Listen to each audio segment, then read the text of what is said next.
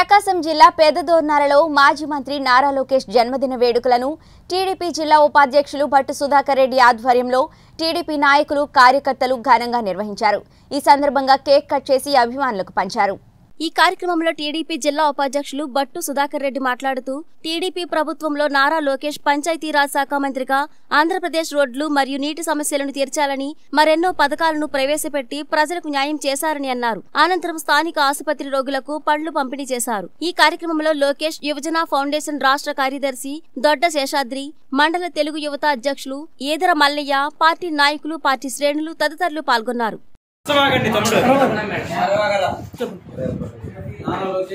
యువజన ఫౌండేషన్ ఆధ్వర్యంలో సేవా కార్యక్రమాలు సేవా కార్యక్రమాలు చేస్తూ నారా లోకేష్ పుట్టినరోజు సందర్భంగా కేక్ కట్ చేయడం జరుగుతుంది.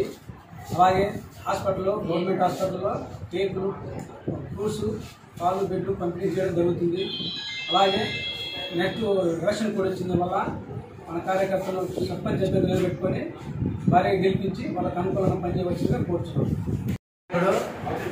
నారా లోకేష్ గారు మాజీ మంత్రి లోకేష్ గారు జన్మదిన దర్శించుకొని ఇక్కడ హాస్పిటల్లో ఆయన ఇక్కడ కేక్ కట్ చేయడం జరిగింది.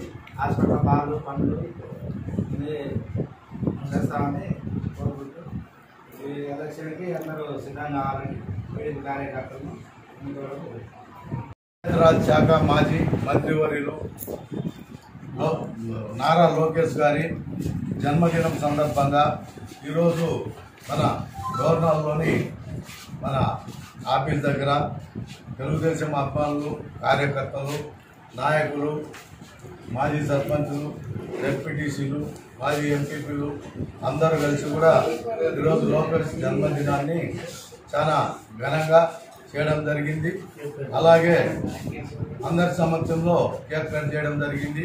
అట్లాగే ఈరోజు మన ప్రభుత్వ ఆసుపత్రి అయితే ప్రైవేట్ ఆసుపత్రులు అయితే పేదలకు పేషెంట్లందరికీ కూడా ఇంకా పనులు పంపిణీ చేయడం జరుగుతుంది. అట్లాగే ఈరోజు మన లోకేష్ మన యువకుడైనటువంటి లోకేష్ మనకు పంచాయతీరాజ్ శాఖను ఎంతో ఆదర్శవంతంగా ఈరోజు నెట్ కేబుల్ టీవీ అయితేమి మామూలుగా ప్రభుత్వ ఇది కేబుల్ టీవీలు కూడా గ్రామ గ్రామానికి విస్తరించి పంచాయతీరాజ్ శాఖలో ఎన్నో రోడ్లు కానీ సిమెంట్ రోడ్లు కానీ అన్నీ కూడా చాలా ఆ శాఖకు నీళ్ళ సమస్య లేకుండా కూడా ఎంతో ఆదర్శవంతంగా ఆ శాఖకు న్యాయం చేశాడు. కాబట్టి అటువంటి యువ నాయకుడి బర్త్డేను మేమందరం కూడా ఈరోజు కార్యకర్తల సమస్యలో జరుపుకోవడం మా అందరికీ ఎంతో అదృష్టంగా భావిస్తున్నాము. అలాగే ఈరోజు పంచాయతీ ఎన్నికల నోటిఫికేషన్ వచ్చింది. కానీ రేపు పదమూడో తారీఖున ఫస్ట్ మొదటి విడతగా మన ఏరియాలో ఎలక్షన్ జరుగుతుంది.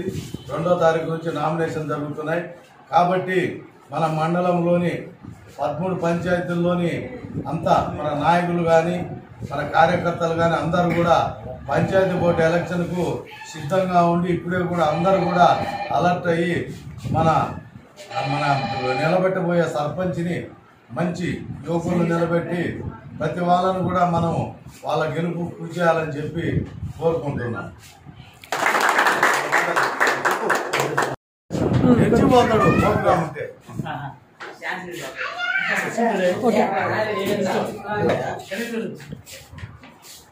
ఏయ్, నాయన తీసుకోరా? ఓకే.